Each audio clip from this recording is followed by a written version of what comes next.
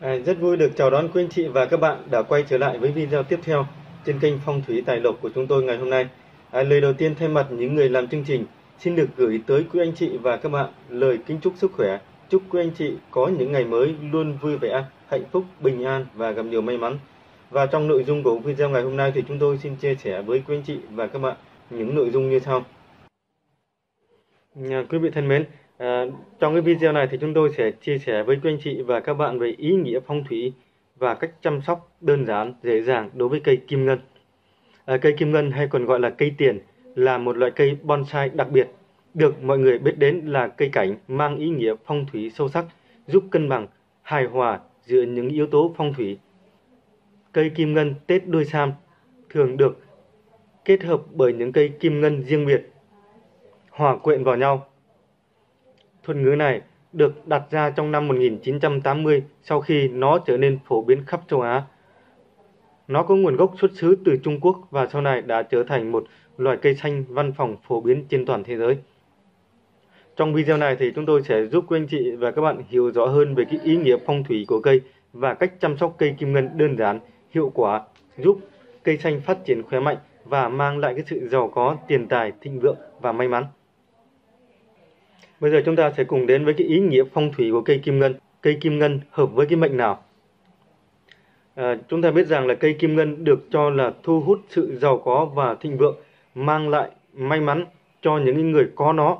Cây cánh này là tượng trưng vì có năm lá bắt nguồn từ mỗi chi nhánh và về cơ bản đại diện cho năm yếu tố của phong thủy như kim, mộc, thủy, hỏa, thổ. Nó không chỉ cho biết thêm sự sống cho một phòng đó là một nguyên tắc quan trọng của phong thủy. Nó giúp duy trì sự cân bằng và hài hòa trong một cái không gian nhất định mà một yếu tố khác có thể thiếu. Điều này đã làm cho cây kim ngân chính là một cái ứng cử viên hoàn hảo cho việc thu hút tiền bằng cách là đặt nó trong nhà để cân bằng các cái nguồn năng lượng chi phối tài chính của bạn. Và kim ngân à, chính là cái nhân tố bổ sung tuyệt vời cho một văn phòng, à, ngôi nhà phong thủy của bạn.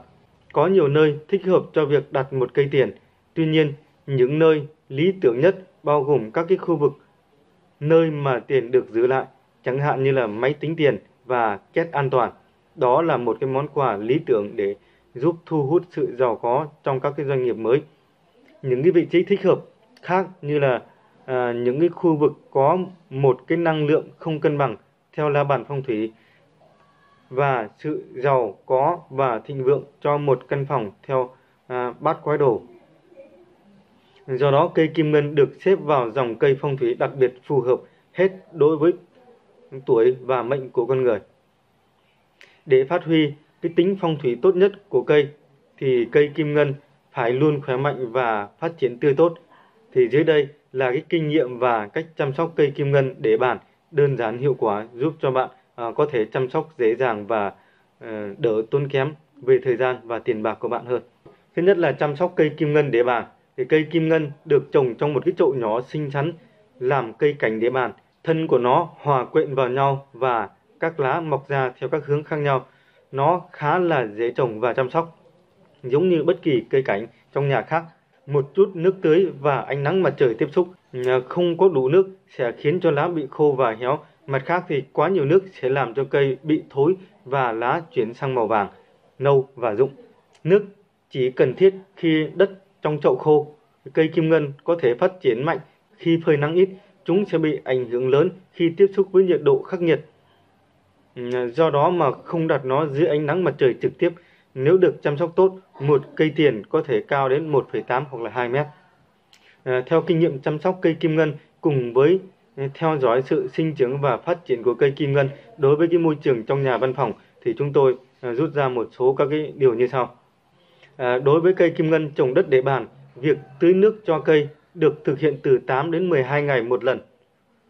Tức là lưu ý là à, nhớ rằng là cho một lần tưới bằng cách tưới nhiều và đều nước trên bề mặt chậu cho một lần.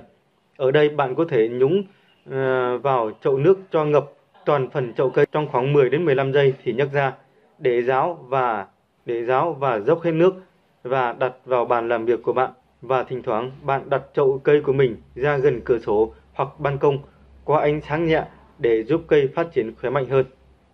Còn đối với cây kim ngân đặt sàn thì ờ, kim ngân đặt sàn có hai loại, loại cây kim ngân xoắn và loại cây kim ngân củ. Chúng có thể cao từ 1,2 đến 1,8 mét. Đối với cây kim ngân củ to thì việc tưới nước cho cây ta cũng thực hiện tưới nước cho nó với chu kỳ là 15 đến 20 ngày cho một lần tưới. Chú ý là tưới sao cho ngấm toàn bộ đất trong chậu và đặc biệt phải đảm bảo đất trong chậu khô hẳn cho cả kim ngân để bàn hay là kim ngân to thì ta mới tưới lần tiếp theo. Lưu ý khi tưới nước cho cây thì đảm bảo nước thoát tốt ở dưới đáy chậu và không bị ngập úng nước. Cách để mà bón phân cho cây kim ngân thì bạn có thể mua ở các cái cửa hàng cây cảnh. Đối với cây đế bàn, bạn nên bón với hàm lượng ít, tránh trường hợp cây bị sót và chết. Chu kỳ bón phân là từ 1 đến 1,5 tháng trên một lần. Còn đối với loại cây kim ngân thủy sinh đế bàn thì cách chăm sóc ờ, như thế nào? Có ba cái yếu tố chính bạn cần quan tâm khi cây đặt ở trong nhà văn phòng. Thứ nhất là cái mực nước trong chậu tuyệt đối không được chạm gốc, chỉ được tiếp xúc với rễ. Nếu chạm gốc cây thì dễ thối và nước thay cây có thể là một tháng một lần kết hợp bón phân thích hợp cho dòng thủy sinh. Đảm bảo ánh sáng phù hợp cho cây khi ở trong nhà hay văn phòng làm việc nhà bạn. Và hãy tuân thủ chuyển một tuần 2 đến 3 lần ra à, khoảng 2 đến 3 tiếng nhiều hơn thì tốt. Vị trí không khí lưu thông tự nhiên, cửa sổ thông thoáng, ban công quanh sáng không quá gay gắt là tốt nhất. À, mục đích của mục đích giúp cây thích hợp với môi trường trong nhà và giúp cây sống khỏe hơn. Và bạn hãy thực hiện làm duy trì những cái điều này thì cây sẽ sống khỏe và tốt hơn. À, chúc các bạn thành công. À, xin được cảm ơn quý anh chị đã theo dõi video của chúng tôi. À, nếu có bất kỳ băn khoăn hay là thắc mắc gì thì các bạn hãy vui lòng ghi rõ rồi để lại lời bình luận bên dưới của video. Và ban biên tập sẽ phản hồi lại các bạn trong thời gian sớm nhất.